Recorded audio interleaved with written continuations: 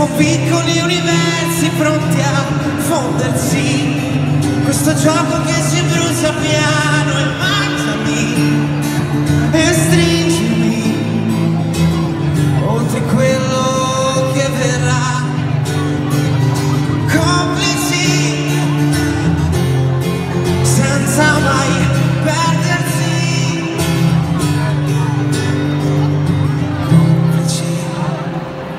pensieri che non possono spendersi. Siamo il vento nuovo che aspettiamo e stringi.